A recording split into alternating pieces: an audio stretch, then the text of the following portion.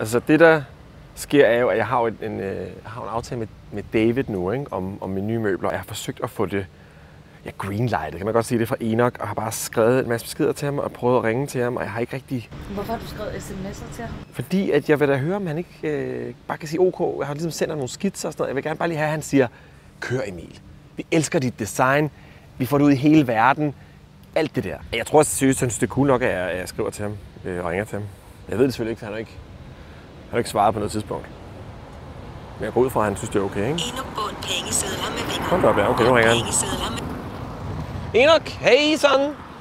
Det er Emil øh, fra øh, København. Ja, jeg tager den lige... Øh. Ja, yeah, okay, it's here. It's in here somewhere. This is... Yeah, just one second. Oh, just one second here. This is like a sofa, a lounge sofa with uh, different tables and different heights. You can put your laptop on and put your stuff on. You can have like an informal meeting, and it comes in in like this type. So is it for like a reception, or is it for uh, a relaxation zone, or is it Everything. everything? You can use it for everything. yeah, that's good. It's not a bed. It's not a bed. If you look at this page, there's like some ottomans that you can Okay. put together. So I mean, you could make an entire home out of this. I don't know why you would want to ever want to do that, but it, it's it's actually this. Do So people this- nap a lot? Do people have? Is that a thing? Not at AJ. What Yeah. materials are you thinking for uh, like for the legs and uh, It's like uh, like like like fab, soft. yeah? I'm thinking something. I mean.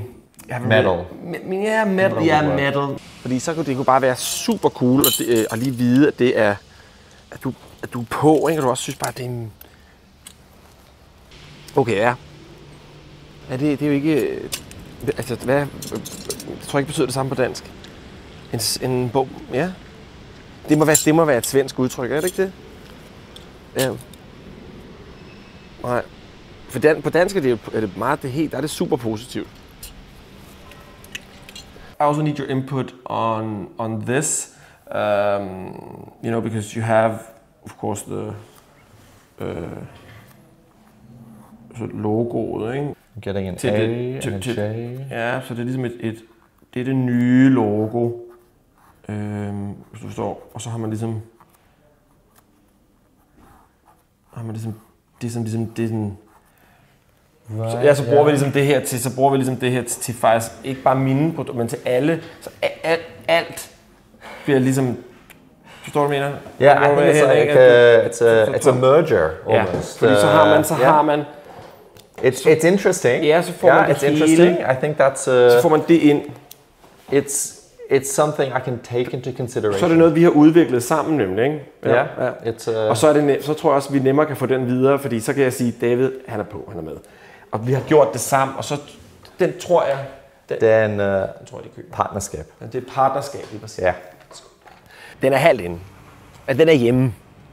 Der er grønt lys. Men hvad Der er lysegrønt lys. Der er, der er, der er grønt lys. Han, det betyder, at Enoch, øh, kan man sige, insinuerer, at vi kører.